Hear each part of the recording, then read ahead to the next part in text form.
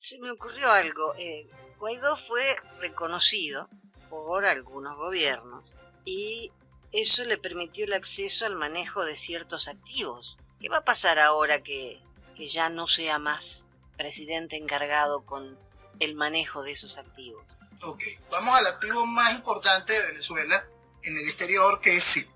Vamos a explicar un punto para lograr comprender la, la gracia de lo que hizo el interino. Con respecto a Citgo, la Asamblea Nacional, en manos del chavismo, de manera absolutamente ilegal, el chavismo, sin la Asamblea Nacional, endeudó, endeudó Venezuela poniendo de garantía a Citgo, poniendo de, garantía a Citgo en una serie de deudas que tienen que ver con estructura petrolera y generó una serie de bonos vinculados de manera específica al negocio petrolero. Punto a dejar claro ahí. Adicionalmente, el chavismo durante Chávez, con su expropiación constante, generó también un proceso donde expropió estructuras mineras en las cuales empresas mineras internacionales se vieron afectadas. Gracias a la asesoría de un personaje que después resultó ser procurador del interinato, y ya renunció al interinato y ahora eh, sigue en su asesoría política. Gracias a la asesoría y a ese concepto de, este personaje, las empresas mineras, una en específico, creo que la canadiense Crystalex, logró generar una demanda en base a esa garantía de sitio. Y dicha demanda fue admitida en tribunales de los Estados Unidos. Es decir, un negocio de minería que no tiene que ver con el negocio petrolero, gracias a la elaboración generada por el procurador de Guaidó, se puso esta empresa en, en la oportunidad de generar, de buscar la división del circo, la venta del circo, para ella poder recuperar el capital de la demanda que ya ganó. Adicional, durante todo este proceso, en el proceso de deuda que generó el chavismo, se activó una cosa que se llamaba los bonos 2020, unos bonos de vencimiento para, de, de, PDVSA con garantía de sí. ¿Qué hizo eh, la oposición, el interinato, durante su, su periodo en el momento en que se vencían unos intereses de ese tipo de bonos? En vez de desconocer la deuda, que era su obligación, debido a que la deuda fue ilegalmente eh, obtenida por parte del chavismo, en vez de desconocerla y ofrecer un discurso con oportunidades de reconocimiento eh, de, a través de distintos mecanismos para mantener la buena imagen de Venezuela en un futuro después de la, extracción de la tiranía, especificar la cantidad de cosas que puedan hacer que un inversionista, si bien no acepte la realidad, entienda la realidad política, este, no, el, el interinato decidió pagar los intereses, por lo tanto validó la deuda, validó aquella deuda ilegal en la cual incurrió, incurrió el chavismo. Para eso fue quizá el principal hecho de que eh, el interinato eh, estuviese manejando los activos, porque legalizó una deuda ilegal. Eso es importante entenderlo. La principal labor del chavismo, del interinato, en cuanto a la destrucción de Citgo, es esa, legitimar una deuda absolutamente ilegal. Con esto se da este avance, lo que estamos viendo ahora en tribunales, donde ya técnicamente Citgo está perdida, gracias a todos esos reconocimientos que hizo el interinato. Entonces, el principal activo de Venezuela en el exterior lo tenemos perdido gracias a esa operación conjunta de gobierno y oposición. Como siempre decimos, es una sola cosa y se trabaja muy bien un vals perfectamente estructurado. Y esa cochinada que podemos ver allí de manera clara ha sido ejecutada en, todo, en toda la estructura lo que estamos viendo con el asunto de monómeros, el escándalo de lo que, de, lo que hubo durante todo el interinato frente a cada una de las cochinadas que se vivieron allí y lo que estamos próximos a vivir con, esta, esta entrega, porque estamos viendo de nuevo como este activo de una vez pasa a manos de nuevo del chavismo, de, del quien ejerce el gobierno en Venezuela en la actualidad, igualito será con el resto de los activos, con lo que quede de Citgo, con lo que quede eh, en las cuentas, con lo que quede del famoso oro que está en Londres, con lo que quede de, de, los bancos de, orden regional en los cuales Venezuela tiene invertido gran capital.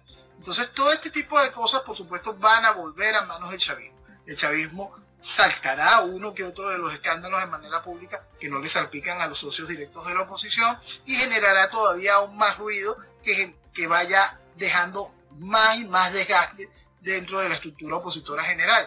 ¿Qué va haciendo eso? que la población sienta gran reticencia, por supuesto, aún mañana en manos de esa estructura política y que como no dejaron que brillase ningún tipo de alternativa, la gente simplemente entra en este proceso de aceptación de la tiranía. La tiranía está allí y no hay absolutamente más nada porque lo otro también es porquería. Eso lo han hecho de manera muy bien y muy, muy coordinada. Y es un asunto que no es nuevo, la gente tiene que terminarlo de comprender. En el 2006 hicieron, este, hicieron que este país votara por algo como Manuel Rosales. En el 2002 que votaran por el compadre de Chávez, por Elías Cárdenas. Es decir, el daño que le han hecho esa estructura política comunicacional a la sociedad es algo que lo han labrado, lo han sellado con fuego y estamos viendo esa realidad. Entonces, que los activos vuelvan al chavismo es también responsabilidad de todo este asunto de no haber hecho algo que explicamos en el mismo inicio de, del 2019 y cuando se hablaba de este interinato. En ese momento, era febrero, hablábamos sobre la necesidad de generar una estructura ad hoc que se encargara de la administración de estos activos y que la misma fuese tutelada a través de empresas internacionales de auditoría. Que cada ganancia que generaran nuestros activos fuesen reinvertidas de una vez en la misma empresa. Que nada de eso llegase a manos de la estructura, por supuesto, del chavismo, ni mucho menos a la estructura opositora. Explicamos desde el inicio del 2019 que la estructura opositora venía con una, un hambre inmensa de robar, de robar de manera absolutamente descarada. Y explicamos en ese momento que se iban a robar hasta la ayuda humanitaria futura, como sucedió. Entonces, no es un asunto que, que haya que entender la política de una manera eh, eh, especial, es simplemente entender la realidad y tener sentido común sobre de qué está hecho esa estructura opositora, sobre qué han hecho para que nosotros lleguemos a esta situación durante todos estos años, sobre qué es el socialismo, sobre qué es la complicidad colaboracionista. Por eso es que es tan importante que la sociedad vea, vea, revise en su cabeza y se empiece a, revisar en Twitter aquellos personajes que se rasgaban las venas por Guaidó y por todo el interinato, que se rasgaban las venas por esa estructura del de, de la Asamblea Nacional, que escribían a finales del 2018 la responsabilidad, el futuro, tenemos que entregárselo a la Asamblea Nacional, que han hecho posible que esto sea así. Por eso es fundamental que como ciudadano común entienda su responsabilidad al haber validado esto, pero la increíble responsabilidad que tiene un dirigente político y comunicacional.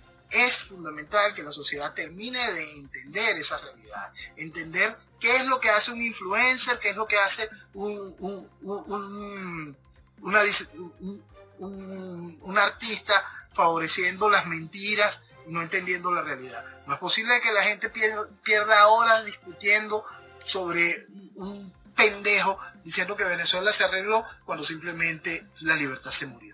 La realidad a la que tiene que enfrentar el venezolano pasa por esa ruptura que va desde ese dirigente político hasta el vulgar comunicador, generador de opinión que que ha hecho daño fomentando y abrazando la estructura política. Y por eso es que es tan importante que entiendan. Muchos de ellos simplemente son imbéciles políticamente hablando. Entonces, ¿para qué usted lo sigue? La política es un asunto muy serio. La política siempre va a ir hacia tu vida. La política controla todos los aspectos de una sociedad, por ridículo que parezca, todos y cada uno de los aspectos de la sociedad.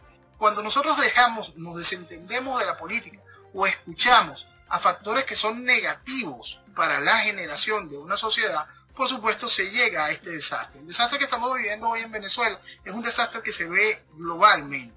Cada vez las sociedades del mundo infantilizadas, estupidizadas, están escuchando lo incorrecto, aplaudiendo la mentira, estimulando la estupidez, legitimando la barbarie.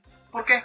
Porque nos queremos desentender de la realidad, de lo que importa y de lo que ha hecho posible que nos desarrollemos como sociedad esa oportunidad de la libertad individual dentro del marco del respeto, esa oportunidad maravillosa de la generación de familias como, como centro de una sociedad, esa extraordinaria magia que son los países, que son las naciones. Las realidades están allí.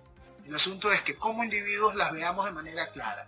Como venezolanos, el desastre y el escándalo es más que evidente. La cochinada es absoluta. Y lo peor es que ni siquiera hay que investigarla. Está allí a la vista de cualquiera de cualquiera que quiera tener la, que quiera entender que debe dejar de mentirse y que quiera entender lo que vale Venezuela.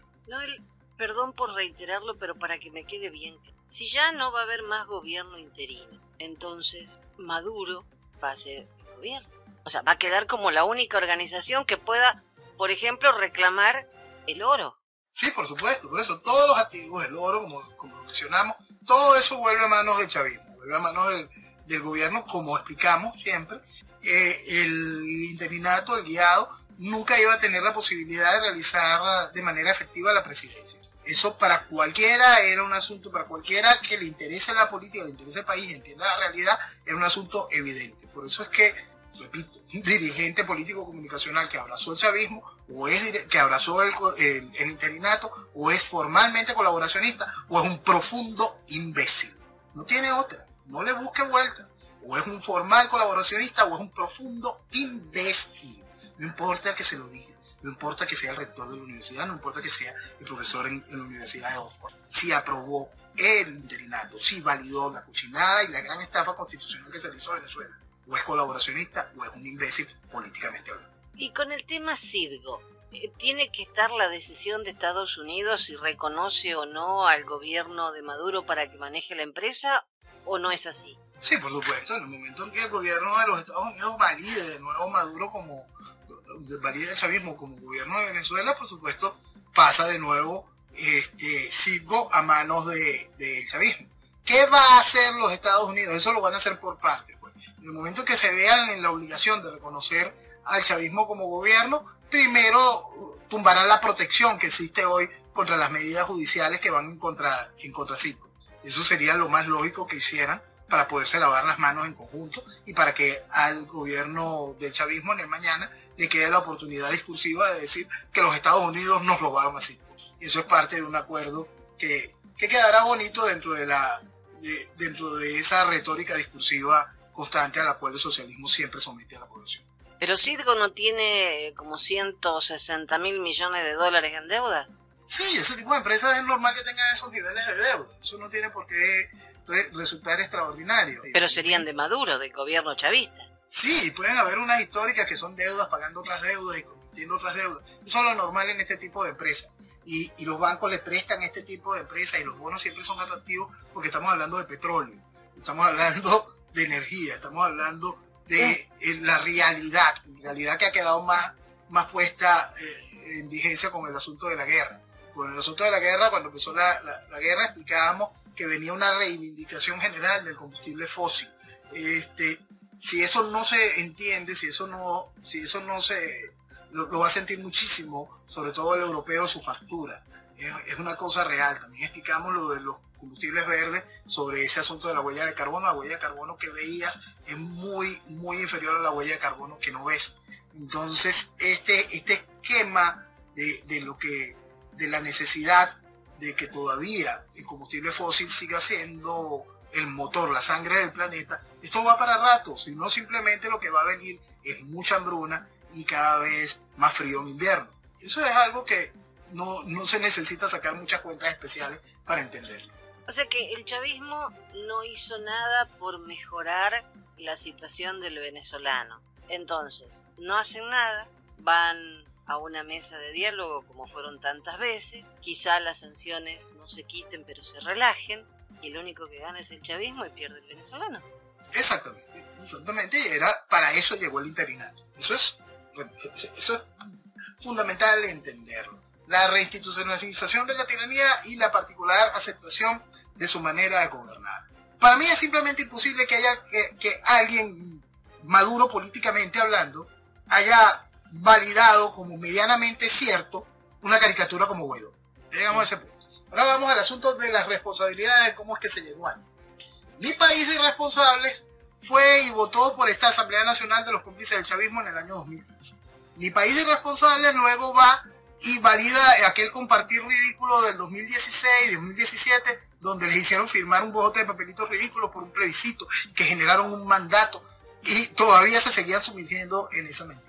Mi país de irresponsables siguió validando el librito ridículo de la constitución que, como hemos repetido en sus 200 veces, es la camisa de fuerza a la sociedad que busca la libertad y es el látigo con la cual la tiranía pone oro. Eso es lo que es el librito ridículo. Este, aceptan esa estupidez del interinato y sacan a la gente a las calles.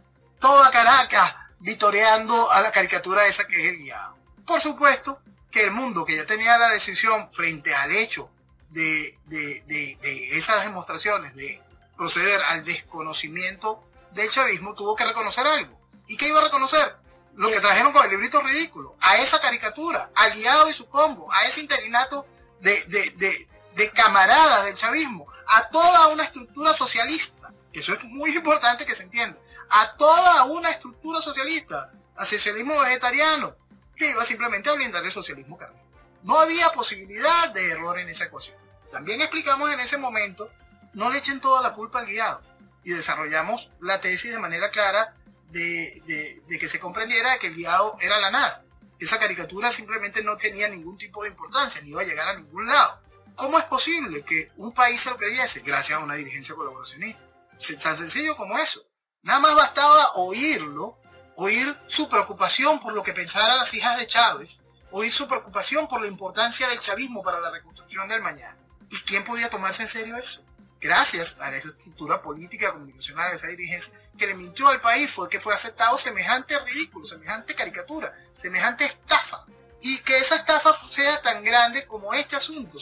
Si, todo este asunto se validó en un proceso de vacío de poder, y cuando se habla de elecciones en el 2024 va a ser ridículo, ridículo, es respetar el periodo de Maduro, el periodo que marca la constitución de un presidente que fue supuestamente electo en el 2018.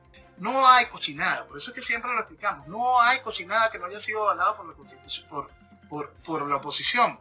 Vamos a una de las cochinadas de cuando se murió Chávez. Cuando se murió Chávez, Maduro era el vicepresidente. De acuerdo al librito ridículo, el vicepresidente no podía ser candidato presidencial. Y ahí estaba.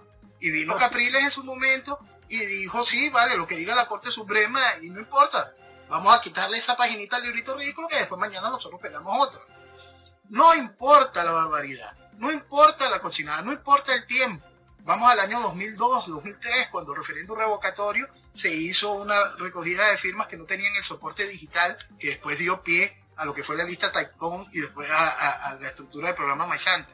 Se hizo una recolección de firmas que bastaba, era suficiente. Tan suficiente fue que un magistrado del TSJ expresó que esas firmas eran válidas, que eso tenía que ser así, que eso no importaba recoger de nuevo la firma y que eso era suficiente para activar el, el proceso de revocatorio. Pero no, la oposición, precisamente en la voz del que hoy es el principal representante de, la oposición, este, Gerardo Bley, en la mesa de negociaciones en México, en aquel momento dijo, no, no importa, las volvemos a recoger.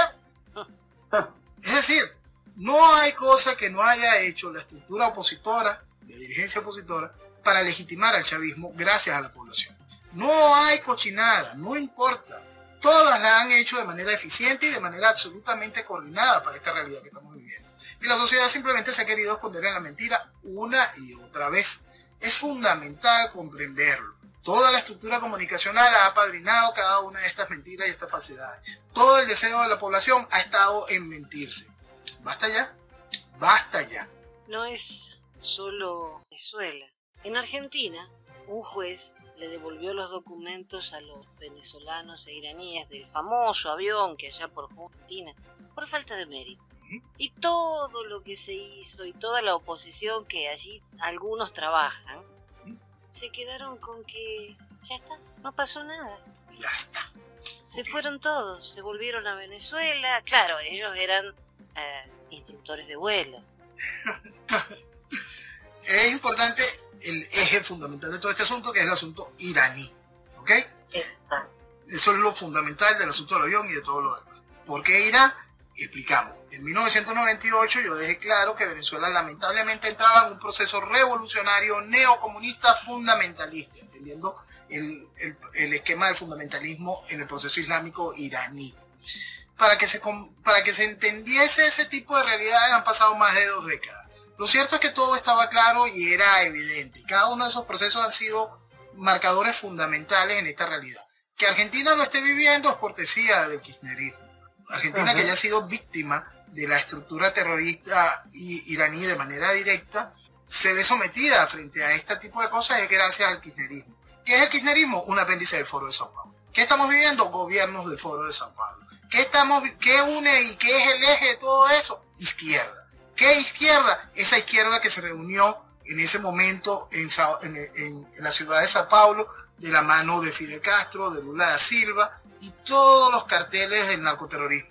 Es decir, socialismo y crimen siempre van de la mano y ahí quedó fusionado, quedó de manera clara.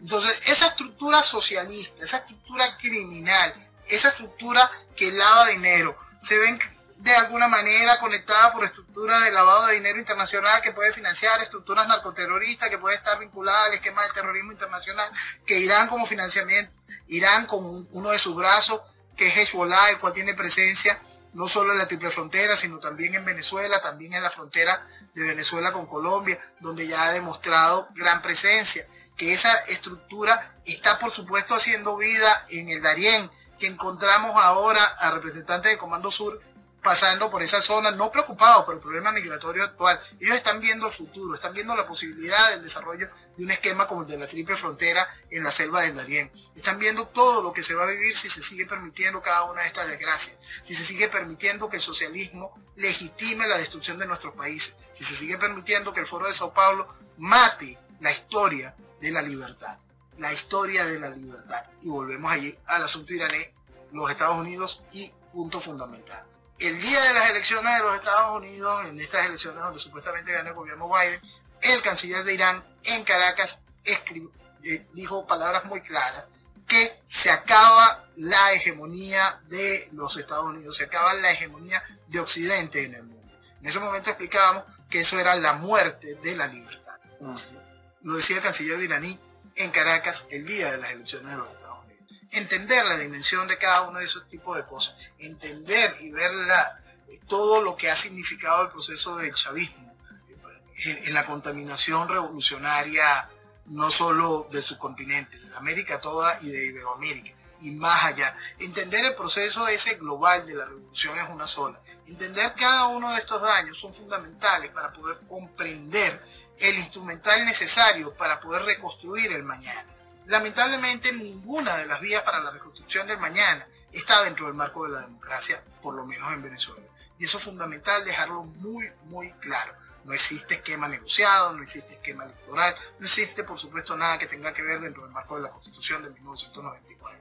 Lo peor de todo esto es que es así desde el principio y han hecho que el país se mienta y vista democracia, esta desgracia, una y otra vez. Y planean volver a hacerlo. Y hay gente que todavía cuando le explicas que estás sintiendo, dicen que ves conspiraciones por todas partes. Pero está muy claro. Está, absolutamente claro y está absolutamente claro toda la dimensión y todos y cada uno de los mecanismos. Negarlo simplemente negar la realidad, simplemente es mentirse. Es como salir a, a, a, esta gente que en nuestro país todavía quiere que vuelva a lo que vivíamos antes del chavismo, que fue lo que trajo el chavismo.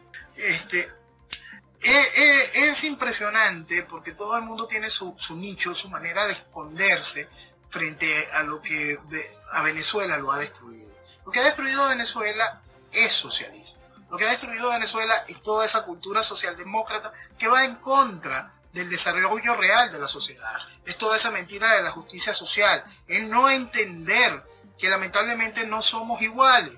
Es entender que la maldad existe. Es entender las la serie de necesidades a las cuales una población se ve sometida. La primera, de un liderazgo serio, que haga que el individuo se eleve y que se eleve entendiendo la responsabilidad de sus acciones. Que ese liderazgo serio entienda que también hay un grandísimo sector que nunca se va a elevar. Ese sector de la sociedad tiene que ser atendido. Esas son realidades que no, se, no, no están lejos del entendimiento sencillo de una cosa tan increíblemente básica como el sentido común. Entender la necesidad de un Estado, un Estado pequeño pero fuerte. Entender la necesidad de que toda sociedad tiene que ser impulsada, bien sea algunos simplemente con el hecho de las herramientas de la libertad, otros con peldaños firmes en una escalera hacia mañana. Eso dista mucho del socialismo, eso dista mucho de la socialdemocracia, eso dicta mucho de esquemas absolutamente liberales donde creemos que todo el mundo va a poderlo hacer.